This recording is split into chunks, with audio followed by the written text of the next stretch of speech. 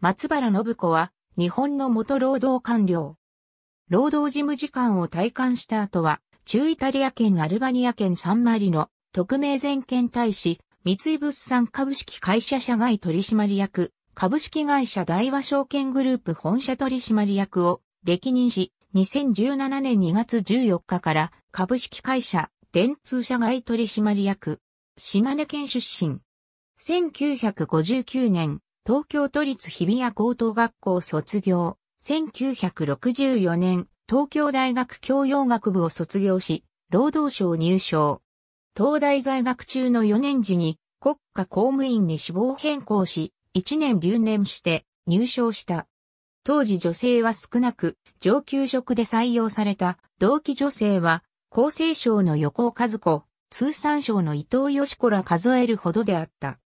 入省後、婦人局長、労働基準局長、労政局長を経て、1997年に女性初の労働事務次官に就任したが、これは同期入省の七瀬時夫の後を受けて、事務次官に就任した珍しい事例となる。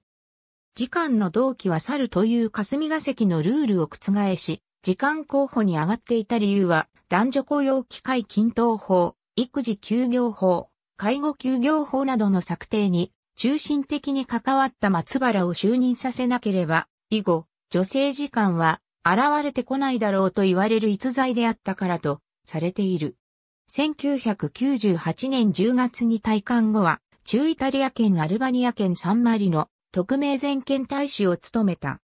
この人事は、外務省が不祥事で世論から批判を浴びる中、G8 国の大使ポストの一つを外務官僚以外から出すようにと、政権与党から外務省に要求があったことによる。2015年春の叙勲で、随法、重光明受賞。通称内史ニックネームは、松原丹子。夫で、同じく労働省官僚であった松原あずまじは、日比谷高校の1年後輩であり、東大の同級生にあたる。ABCDEFGHIJKLMN、OP、電通取締役人事。電通。2020年7月18日閲覧。2017年2月下旬、電通の新入女性社員過労自殺事件を受けた働き方改革で、社外の専門家らで構成する独立監査委員会を設置した。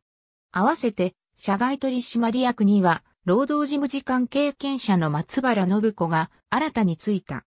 トワイライトフォーラム過去、講演会一覧日比谷高校同窓会助覧会、HP ハット、次期功労時間に、村木厚子局長文書偽造事件で逮捕も、無罪確定。2015年9月27日閲覧。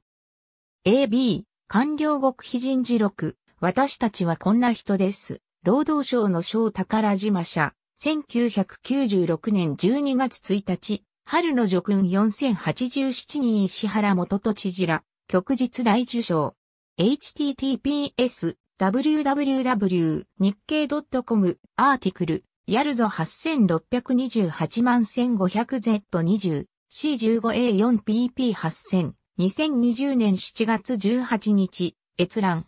Https コロンスラッシュスラッシュ americancenterjpan.com スラッシュエクスチェンジスラッシュ notable スラッシュありがとうございます。